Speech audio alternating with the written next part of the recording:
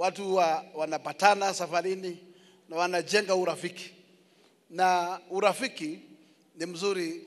Watu waki, wakiwa marafiki wanakuwa genuine friends, na niseme mambo ambaye tuko nayo siku ya leo ni ya kustaajabu, kwa sababu huu mlima ulifunga macho, ukawa na kijana wao anaitwa Uhuru Muigai Kenyatta, akawaambia barabara ni hii, lakini mlima ukasita kusema tuko na deni ya mse fulani, na sisi tungesema tu kwa sababu tunaijua, wacha tulipe hiyo deni, bila kujua kuna siku ya kushurutishwa.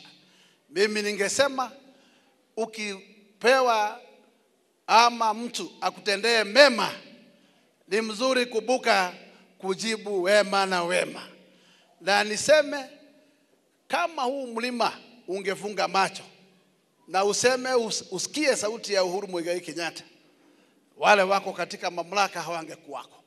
Lakini leo tunauliza, mbona unataka kuleta kilio kingi mlima kwa sababu ya wema wao? Tafadhali tusija tukafika hapo.